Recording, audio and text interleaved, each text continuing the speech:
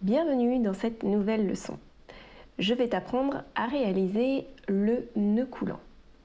Parce que avant de commencer à crocheter, il va falloir apprendre à fixer ton fil sur la tige de ton crochet. C'est vraiment la base. Donc ici, je vais te montrer deux méthodes faciles que j'enseigne à mes élèves.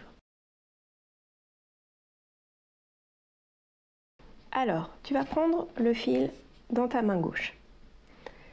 L'extrémité vers toi. Le fil qui est relié à la pelote en haut. Ensuite, avec ta main droite, tu vas venir emmener ton fil vers la gauche pour former une boucle. Comme ceci. Une fois que tu as fait ta boucle, tu maintiens avec ton pouce au centre et le fil, tu vas le passer derrière ta boucle. Comme ça. Maintenant que tu as fait ça, tu vas tout simplement récupérer le fil et le passer à travers la boucle.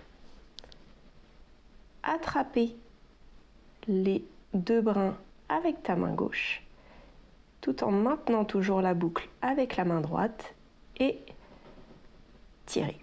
Et donc là, tu viens de créer un nœud coulant. Tu peux ensuite prendre ton crochet, le glisser dans la boucle et tirer sur le fil qui est relié à la pelote. Lorsque tu resserres ton nœud coulant, ne serre pas trop euh, le nœud sur la tige. Il faut que ta boucle coulisse facilement sur la tige du crochet parce qu'ensuite tu vas devoir passer ce fil à l'intérieur de la boucle ici. Et si c'est trop serré, bah, tu ne pourras pas passer ton fil. Donc ça, c'est la première méthode.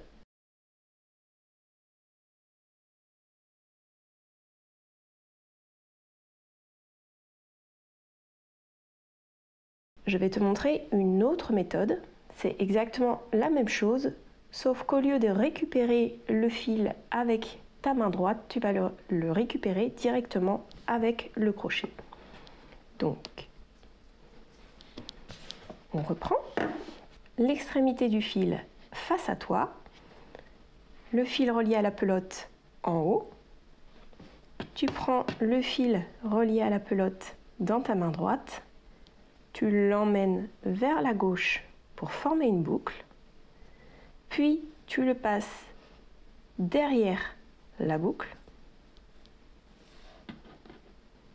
Et là, tu viens directement prendre ton crochet et au lieu de le récupérer avec ton doigt, tu passes ton crochet dans la boucle sous le fil et tu tires.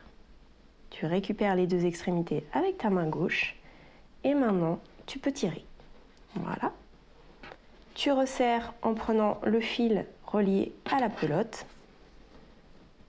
Et voilà. Et là maintenant, tu es prête pour attaquer la chaînette de maille en l'air.